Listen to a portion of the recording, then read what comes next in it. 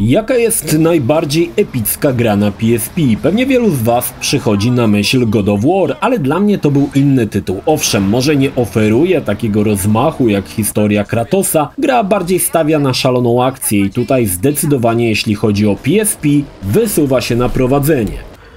Cześć, ja nazywam się Krzysztof Energik Micielski, a to recenzja spóźniona o całe lata gry Pursuit Force Extreme Justice na PSP. Zapraszam. Pursuit Force Extreme Justice jest drugą odsłoną serii. Zaraz, a dlaczego nie recenzowałeś na początku pierwszej, ktoś może zapytać? Tuż, powód jest taki, że poziom trudności pierwszego Pursuit Force został zdecydowanie podniesiony zbyt wysoko. Niektórym nie udało się nawet przejść misji tutorialowej, a co dopiero mówić o kolejnych. Dopiero przy drugiej odsłonie twórcy się zreflektowali i potężnie obniżyli poziom trudności, dodając kilka patentów, aby grało się przyjemniej. Czym jest Pursuit Force Extreme Justice? Wcielamy się w bezimiennego typa, który ma po prostu ksywę dowódca i o ile w języku angielskim można to przełknąć, tak w polskim zgrzyta to niemiłosiernie. Tak czy tak, po wydarzeniach z części pierwszej dowódca zamierza wziąć ślub i wreszcie odpocząć, ale ponownie do akcji wkraczają gangi, które rozwalają całą uroczystość. Dowódca nie namyślając się wiele wskakuje do swojego samochodu i rusza za nimi w pościg. Historia to taka sztampa, że aż boli. No ale to nic, tutaj to może nie ma zbytniego znaczenia. Gra opowiada o jednostce policji specjalizującej się w szybkich pościgach. Przed nami szereg misji, będziemy walczyć z przeróżnymi gangami, które zazwyczaj z jakiegoś powodu chcą zniszczyć nasze miasto. Jednak nie jest to typowy ścigacz, o nie. Mamy tutaj sporo ciekawych patentów i zmian w rozgrywce, aby grę oddalić od tradycyjnych ścigałek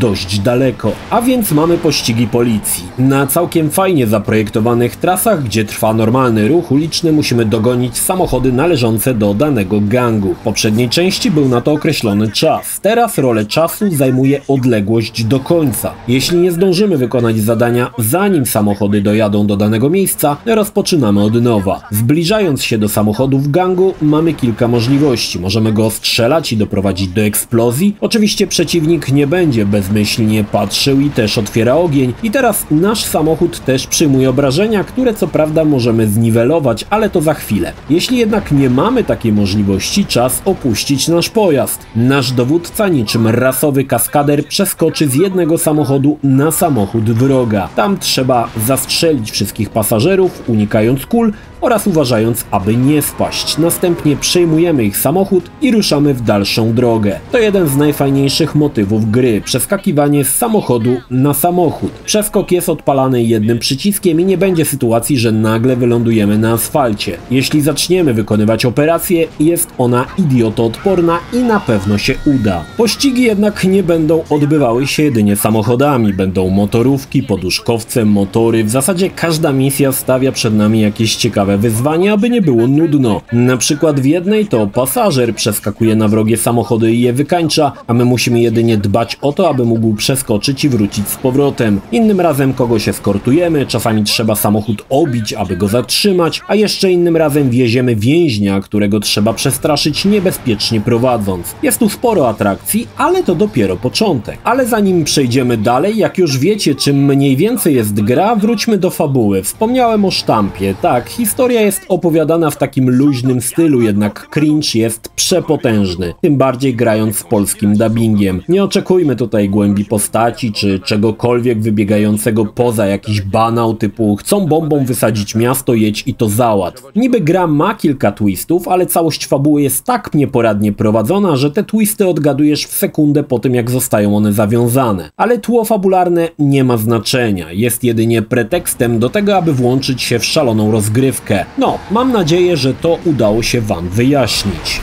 Wróćmy do pościgów. Aby zatrzeć złe wspomnienia o poziomie trudności części pierwszej, dodano specjalny pasek sprawiedliwości, który w miarę pokonywania przeciwników się napełnia. Jeśli jest on dopakowany na maksa, to podczas przeskakiwania na samochód wroga odpala się slow motion i możemy wtedy szybko, już podczas skoku, wyeliminować wszystkich typów w pojeździe. Dodatkowo możemy poświęcić ten pasek, przywracając energii sobie, jak i pojazdowi. To powoduje, że rzadziej zdarzy nam się nieudana misja misja z powodu zniszczenia pojazdu czy śmierci bohatera, ale z drugiej strony mam wrażenie, że miejscami ułatwia to rozgrywkę za bardzo. Ale pościgi to nie wszystko. Misje są tak skonstruowane, że składają się z kilku faz. Każda z nich oferuje inną rozgrywkę, na przykład czasami zmienia się w strzelankę na szynach, gdzie przesiadamy się do helikoptera i za sterami potężnego działka Wulkan kosimy wrogów jak i pojazdy. Czasami trzeba będzie kogoś chronić, czasami oczyścić teren, czy powstrzymać na przykład odpalenie rakiety. Zdarzy nam się obrona tamy przed motorówkami wypuszczającymi torpedy, czasami zamiast wulkana chwytamy za snajperkę i punktujemy przeciwników na dachach. Niestety sterowanie snajperką na PSP podczas gdy siedzimy na pokładzie helikoptera jest męczące. Grzybek nie jest taki precyzyjny i ma zbyt wysokie przyspieszenie, więc zazwyczaj strzelamy wszędzie tam, tylko nie w to miejsce, gdzie jest przeciwnik. Lepiej wypada osłona członka naszego zespołu, który gdzieś musi się zakraść, a my siedzimy ze snajperką gdzieś na górce. Tutaj steruje się celownikiem o wiele lepiej, bo nie ma dodatkowego ruchu pojazdu, w którym aktualnie siedzimy. Gra czasami pozwala nam też wyjść z pojazdu i popylać na nogach, strzelając do przeciwników i to jest zdecydowanie najsłabszy element gry. Widać, że w kwestii pościgów deweloper czuł się jak ryba w wodzie, ale w przypadku strzelanki TPP niezbyt ogarniał jak to zrobić. Postać chodzi jakby miała 5 kilo w gaciach, strzelanie nie ma w sobie ani krzty radości, jest generyczne i przeraźliwie nudne. Czasami jak podejdziemy do przeciwnika mamy możliwość schwytania go żywcem w krótkiej scence Quick Time Event, ale to nie ratuje sprawy. Wkurza też to, że przeciwnicy pojawiają się zupełnie znikąd i po prostu część szarżuje na nas z maczetami, podczas gdy my koślawymi ruchami staramy się tą szarżę powstrzymać. No niestety nie wypadło to najlepiej. Mamy też misje unikalne, które zdarzają się raz. Na przykład ta, w której wieziemy naszego szefa do szpitala i musimy dbać o to, aby nie strzelił kopytami na zawał, więc unikamy stłuczek, walk z pojazdami i tak.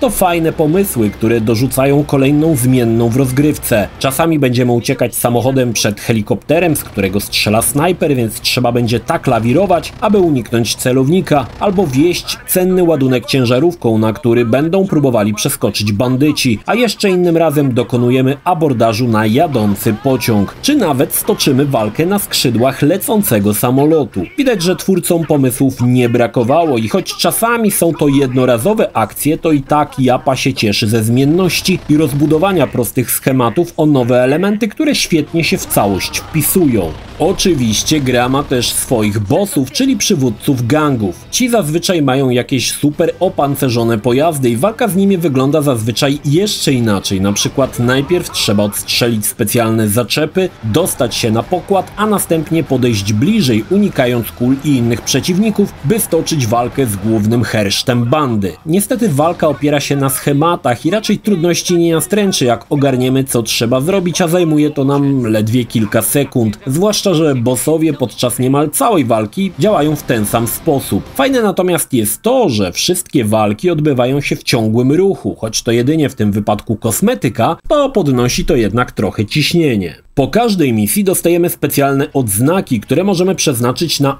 ulepszenia. Te są podzielone na cztery kategorie. Z grubsza to ulepszenie postaci, pojazdów, broni i systemu sprawiedliwości. Postęp jest liniowy, więc kolejne ulepszenie odblokowujemy dopiero jak ulepszymy poprzednie. System jest prosty i ogólnie dość ciężko zauważyć, czy coś się w ogóle zmieniło po ulepszeniu, no ale zakładam, że jednak tak. Po ukończeniu wątku fabularnego łatwo zauważyć, że to dopiero początek całej zabawy, jednak trzeba przyznać, że pozostałe elementy są dla tych bardziej wytrwałych graczy, ich poziom trudności raczej jest zbliżony do tego, co oferowała część pierwsza. Możemy rozegrać wszystkie misje z trybu fabularnego jeszcze raz, aby zyskać gwiazdki, za które odblokowujemy bonusy w sklepie, m.in. ułatwienia, czyli jak mnie mam cheaty. Możemy też rozegrać wszystkie misje w trybie wieloosobowym, co może być wyjątkowo ciekawym pomysłem, bo w każdej misji mamy jakiegoś partnera. Dodatkowych atrakcji jest sporo, bo samo ukończenie wątku fabularnego pokazuje, że to jedynie 16% całości, więc na pewno będzie co robić. Bardzo fajnie wypadła oprawa i jest to chyba jedna z najładniejszych gier na PSP. Trasy mają masę detali, bardzo rzadko się powtarzają. Na przykład jeśli mamy misję, w której mamy trafić na lotnisko, to faktycznie początkowo jedziemy miastem, jakimiś polami i wjeżdżamy na lotnisko. Oczywiście w pędzie nie ma czasu na podziwianie widoczków, ale i tak nieraz i nie dwa byłem zaskoczony ilością detali na poboczu. Ważnym elementem w tej grze jest płynność i tutaj też nie mam czego zarzucić. Nie ma tutaj oczywiście 60 FPS-ów, ale zdaje się, że te 30 no trzyma dość dzielnie, nawet jak na ekranie naprawdę dużo się dzieje. Jednak powtórzę to ponownie, aby docenić oprawę trzeba grać na małym ekraniku. Jeśli odpalamy to przez emulator w wysokiej rozdzielczości, na wierzch wyłażą wszystkie niedociągłości gra bardzo traci na jakości. Również na YouTubie tą recenzję warto oglądać w okienku. Gra oferuje polski dubbing, ale niestety mnie nie powalił. Jest poprawny, ale miejscami odzywki to nieziemski cringe. Lepiej wypada to po angielsku, choć też do ideału brakuje kilka kilometrów. Pursuit Force Extreme Justice to fantastyczna gra. Była fantastyczna w 2007 roku i jest nadal. Pierwsza część, choć też zaskakiwała fajnym pomysłem, to morderczy poziom trudności, wyśrubowane czasy od gry odstraszały. Tutaj wszystko jest tak jak być powinno i gra się w to niezwykle płynnie. Zaskakujące jest to, że pomysł nie został przeniesiony na duże konsole, choć miał się pojawić port na PlayStation 2. Dzisiaj studio Big Big już nie istnieje i marne są szanse na wskrzeszenie marki, a szkoda. Szalone wyścigi z toną ciekawych pomysłów na pewno zasługiwałyby na drugą szansę. Jeśli masz PSP lub Vita, sięgaj śmiało, to naprawdę świetny tytuł. Polecam. Jeśli film Ci się podobał, zachęcam do subskrypcji lub wsparcia mojego kanału na portalu patronite.pl. Film o podobnej tematyce znajdziesz tutaj, natomiast z drugiej strony znajdziesz film wygenerowany przez platformę YouTube'a. Zachęcam również do odwiedzenia moich social mediów, grupy Energikowcy na Facebooku oraz serwera Discord. Linki w opisie.